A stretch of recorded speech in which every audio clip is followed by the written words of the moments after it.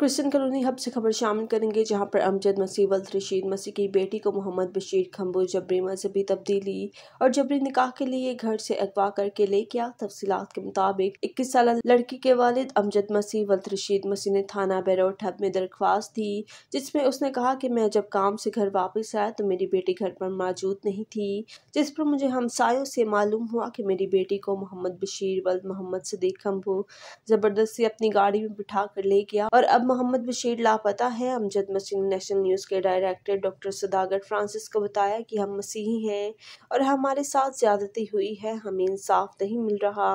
National Christian party के chairman हमारी मदद के लिए आए हैं। मेरी आला हकाम से अपील है कि मेरी बेटी को बाजियाब करवा कर, मुलजिम को कड़ी से कड़ी सजा दी जाए। मोहम्मद बशीर, मेरी बेटी के दादे की उम्र का है। नेशनल क्रिश्चियन पार्टी के चेयरमैन शबीर शफकत ने प्रेस क्लब के बाहर मुजाहरा किया और कहा कि अगर हमारी बेटी दो दिन तक वापस न आई तो हम पूरे पाकिस्तान में हड़ताल करेंगे। पुलिस ने मुकदमा दर्ज करके मुलजिम की तलाश शुरू कर दी। प्रेस क्लब के बाहर मुजाहरीन ने एहतजाज में क्या कहा जानते हैं। हम जनाब कराची से मतलब के आए हैं। हैं नेशनल क्रिश्चियन पार्टी से मेरा ताल्लुक है। हमें पता पता चला था कि ये वाक्य हुआ क्योंकि हमें तो पता है कि बलूचिस्तान की सरजमीन जो है, वो एक अकलीतों के लिए महफूज का है। क्योंकि पूरे पाकिस्तान के अंदर आप देख लें, कहीं भी उस तरह के महफूज नहीं है जितना कि महफूज जो है, अकलीत है, तरक्की भी अकलीतें जितनी बलोचिस्तान में कर रही है, कहीं भी नहीं है। लेकिन हर जगह कहीं ना कहीं कड़वी जड़ निकल आती है। तो अफसोस की बात यह है कि ये जो वाक़ हुआ है कि वो शख्स जो उस बच्ची को, जिसके पास वो काम करती थी, उसको बेटी बेटी कहता रहा और उसकी बेटी से भी कम उम्र की है। और ख़ुद वो जो है 52 ईयर्स का बंदा है और आप ये देखें कि नौ बेटियाँ उसकी अपनी भी हैं। और जो शख्स बेटी बेटी कहता रहा और फिर इस तरह का वाक्य हो जाए असलाम कबूल कर रहा है, इसमें कोई पाबंदी नहीं है। कोई भी पाकिस्तान में आज़ाद है जो मतलब चाहे इख्तियार करे। लेकिन जिस तरीके से इस बच्ची को किया, अगवा करके, फिर उसको दबाव करके आप उसका वीडियो बयान भी इससे पहले नहीं किया। जब हम आज सुबह से हम शोर कर रहे हैं, आला काम के आगे हमारी अपीलें जा रही हैं तो हम लाइव प्रोग्राम कर रहे हैं तो उसके बाद जो है उसका वीडियो मैसेज आ गया। मैं अदीबा, मेरी उम्र इक्कीस साल है और मैं बालिक हूँ। मैं अपने होश आवाज़ में हूँ और मैंने दीन इस्लाम को कबूल किया है और मैं मुस्लिम हो चुकी हूँ और मैंने निकाह किया है बशीर अहमद के साथ। इसलिए जो लोग एहतजाज कर रहे हैं, वो ना करें। इसमें किसी की ज़ोर ज़बरदस्ती नहीं है और कानून को अपने हाथ में ना लें और गैर कानूनी काम ना करें। वीडियो बना के उसका वीडियो पैगाम जारी कर दिया। उससे पहले क्यों नहीं किया? और फिर उसके मोबाइल सारे बंद है। अगर बच्ची ने इस्लाम कबूल किया तो इसमें कौन सी परेशानी की बात है? सामने आए तो अगर उसके साथ कोई अगर कर रहा है, हम उसके साथ खड़े हुए हैं। क्योंकि पाकिस्तान आज़ाद मुल्क है, यहाँ किसी के साथ कोई जबर नहीं, कोई ऐसी बात नहीं। अगर किया तो फिर चुप क्यों रहा है? और इतने तीन दिन से उस बच्ची को उसने गायब किया रखा है, और जब आज शोर उठा है, जब police F I R launch कर रही है तो उसकी वीडियो जो है, बच्ची की जो है, वायरल कर रही है। तो मैं कहता हूँ कि बलोचिस्तान के हर मुसलमान को, हर मुल्ला को, हर मजहबी रहनमा को, हर तबके को इस जुल्म के खिलाफ उठ खड़ा होना चाहिए, क्योंकि ये जालम और मजलूम की जंग है। क्योंकि आप सब भी बेटियों वाले हैं। कि अगर आज ये सिलसिला शुरू हो गया तो कल किसी की बेटी के साथ भी ऐसा हो सकता है।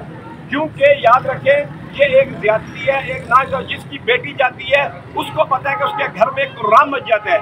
जिस बेटी को बाप ने इतने प्यार से पाला होता है तो उसको अगर इस तरीके से अगवा कर लिया जाए, और उसके बाद फिर इस तरीके से बयान दिया जाए और बेहुदा बातें की जाए। पिछहत्तर सालों के अंदर ये फ़र्स्ट टाइम ऐसा मसला आ रहा है के अंदर। ये सिर्फ़ मसला का नहीं है, ये पूरी अकली अकलीती बिरादरी का मसला है। हम आप लोगों के साथ हर मामला के अंदर खड़े हैं, हमारा हर ताउन आप लोगों के साथ है। आप रोड के ऊपर आएँगे, रोड बंद करेंगे, हम आप लोगों के साथ रोड के ऊपर आएँगे, हम रोड बंद करेंगे। आप लोग अगर कानून के मुताबिक चलेंगे, हम आप लोगों के साथ कानून के मुताबिक चलेंगे। बाकी ये लड़की बाजियाब होनी चाहिए, उसका स्टेटमेंट आना चाहिए उस लड़की को उसके वालदेन के हवाले किया जाए। अगर लड़की का स्टेटमेंट अपने वालदेन के हक़ में आता है तो हम यही चाहेंगे कोर्ट हर बार ना एहली वाला काम नहीं करे। वो कोर्ट उठा के इनको, जो इनके कुछ डिपार्टमेंट बने हुए हैं, कुछ इदारे बने हुए हैं, उनके अंदर रवाना कर देती तो हम उनसे यही अपील करेंगे, अगर लड़की का स्टेटमेंट अपने वालदेन के साथ जाने वाला बनता है तो उनको लिहाजा उनके वालदेन के साथ जाने दिया जाए आया कि ना वो जो क्या बनाया उन लोगों ने? दारुलमान उनको दारुलमान नहीं भेजा जाए। बाकी अकलीती बिरादरी आप लोग के साथ हर वक्त हर मामले के अंदर खड़ी है। जो आप लोगों का रद्द अमल जो आप लोगों का लाया अमल होगा हम आप लोगों के साथ।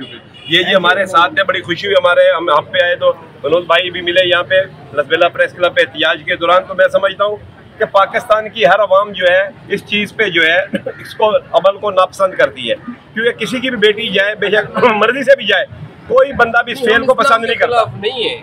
नहीं कोई भी ऐसा हो। हम इस रद्द अमल के खिलाफ है जो रद्द अमल आ रहा है ना।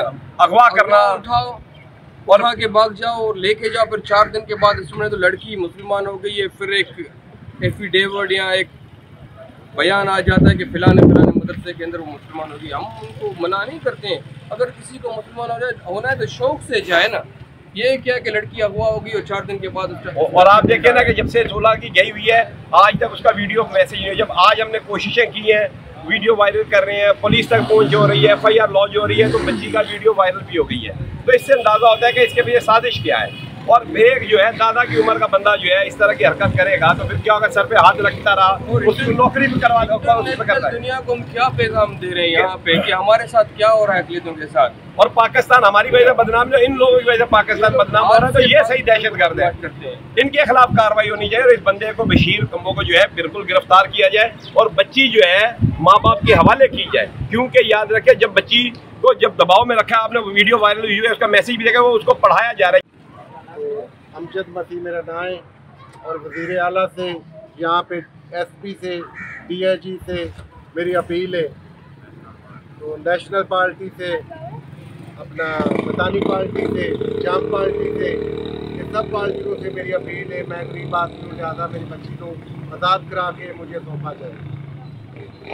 और अभी ये चाह रहे हैं कि अभी ये मीटिंग हुई है हमारी चर्च के अंदर तो यही लाए अमल तैयार किया। अगर ये दो दिन का जो पुलिस ने टाइम लिया है और उसके रिश्तेदार को जो पकड़ के लाए थे और उसको इसीलिए छोड़ा गया कि दो दिन तक उसने कहा मैं ढूंढ के देता हूँ। अगर नहीं हुआ तो फिर ये चाहते हैं कि हम जो है जितने भी सरकारी मुलाजमिन हैं ये बिल्कुल जो है हड़ताल पे चले जाएँगे। और जब तक बच्ची बरामद नहीं होगी बाजियाब नहीं होगी ये हड़ताल पर रहेंगे। बेशक ये भूखे रह जाए लेकिन अपनी बच्ची के लिए ये भी तकलीफ़ उठा लेंगे तो मैं चाहता हूँ कि बजाय के ऐसे हालात हों, ये जो चंगारी है, हब से निकल के पूरे पाकिस्तान को और पूरी दुनिया तक चली जाए तो इससे क्या होगा, हब का भी नाम बदनाम होगा। तो इसलिए आप सबको इस चीज़ पर खड़े हो जाना चाहिए, ताकि ये एहतजाज ना हो, बल्कि एहतजाज इधर ही खत्म हो जाए बच्ची बाजियाब हो जाए। शुक्रिया।